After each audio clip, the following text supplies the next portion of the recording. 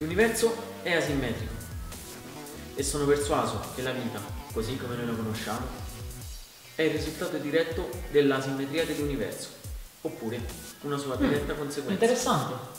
Ma che cos'è una simmetria? Te lo spiego subito. Vedi? Ok, questa è simmetria. Mentre questa è la simmetria. La rottura delle simmetrie.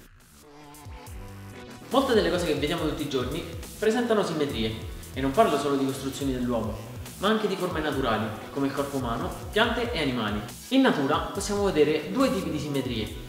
La prima è chiamata bilaterale ed è presente in un corpo quando possiamo dividerlo in due parti uguali, mentre la seconda, chiamata radiale, si riconosce grazie al centro di simmetria, attorno al quale si sviluppa tutta la forma.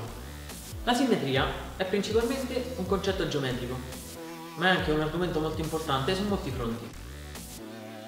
Nel mondo della fisica, oltre che le simmetrie, sono molto importanti anche le asimmetrie, che hanno contribuito nello studio di importanti fenomeni come l'antimateria. L'antimateria può essere definita come l'insieme delle particelle con la stessa massa delle particelle che costituiscono la materia, ma con segno di carica opposto. Se particelle e antiparticelle vengono messe in contatto, possono trasformarsi o in fotoni di alta energia o in altre coppie di particelle e antiparticelle che mantengono costante la somma delle loro energie.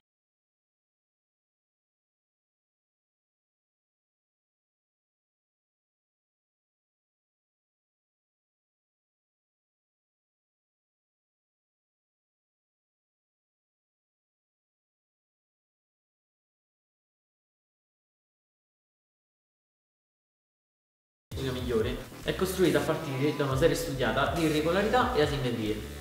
Non si può dire con certezza se sia più interessante o più bella la simmetria o l'asimmetria, dato che se prese singolarmente sarebbero una fredda e rigida, mentre l'altra un po' caotica, credo che si possa raggiungere la perfezione solo grazie all'unione delle due.